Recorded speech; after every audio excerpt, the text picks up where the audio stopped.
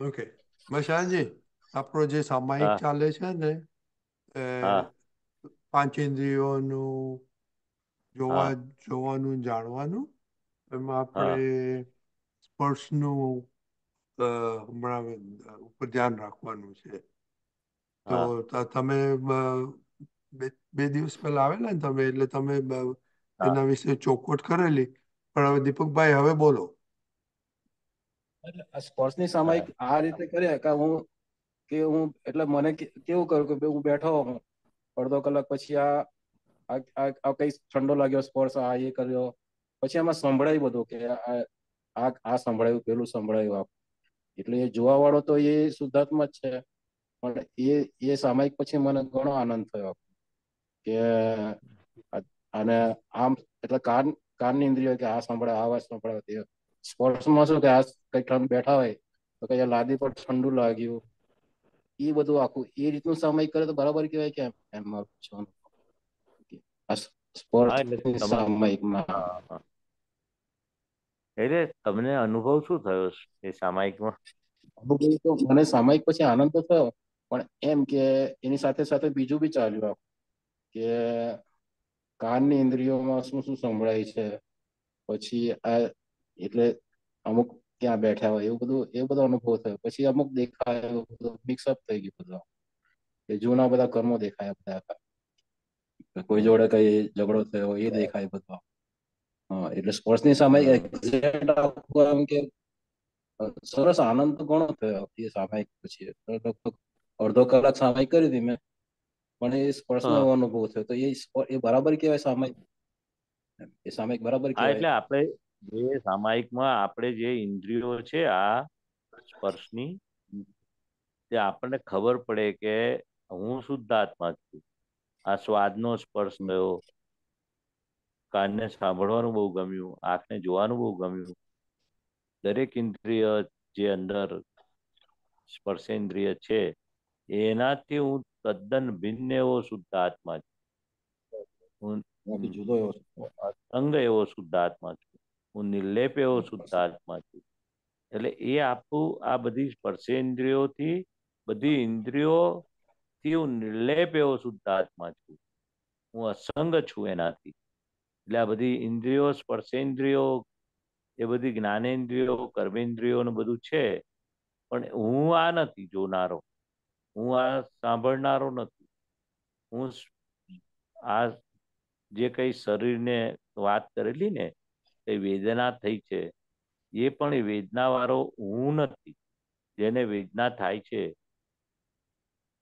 એ એનાથી પણ હું જુદો એવો, અસંગ એવો, અચ્યુત એવો, અજન્મ એવો, નિર્વેદ એવો, નિર્વેદ વેદના વગરનો એવો હું શુદ્ધાત્મા છું.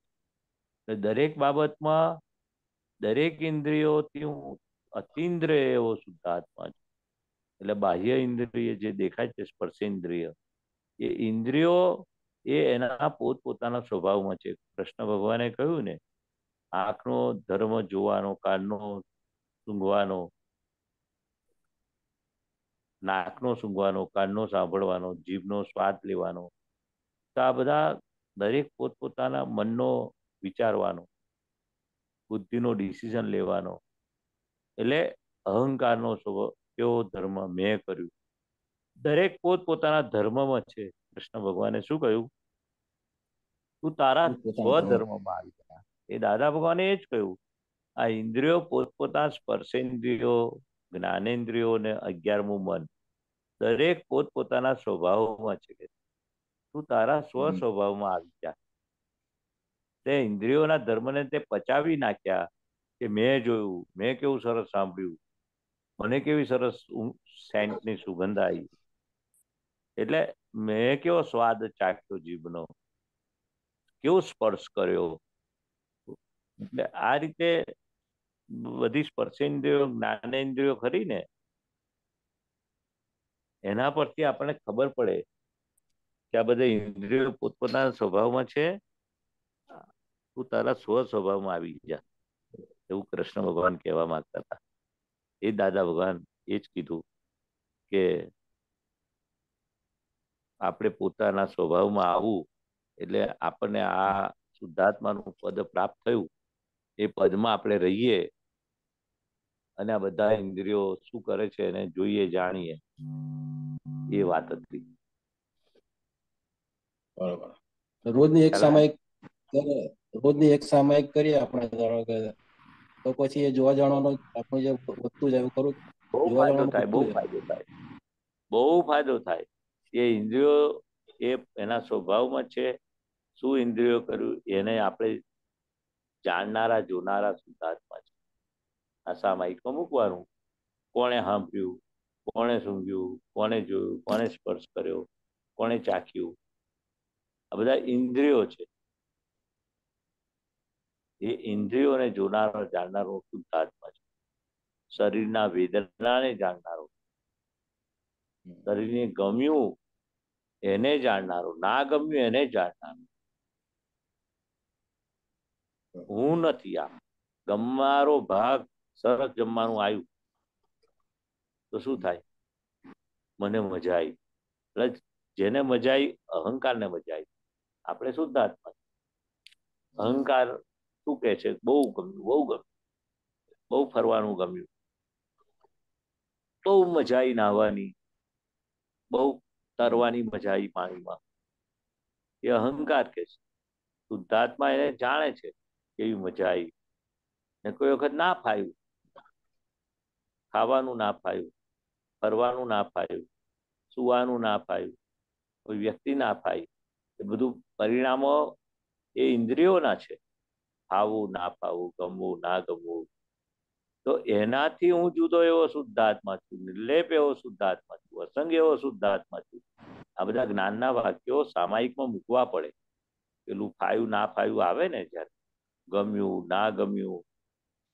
સારો વિચાર આવ્યો, ખરાબ વિચાર આવ્યો. કોઈ વ્યક્તિ મળી તારે શું થયું? બધા ઇન્દ્રિયોના ધર્મ બહુ ગમે એને જોવાનું. કોઈ વ્યક્તિને, ગમતી વ્યક્તિ વાલી વ્યક્તિ હોય તો બહુ યાદ આવે ક્યારે ભેગી થાય, ક્યારે ભેગી થાય.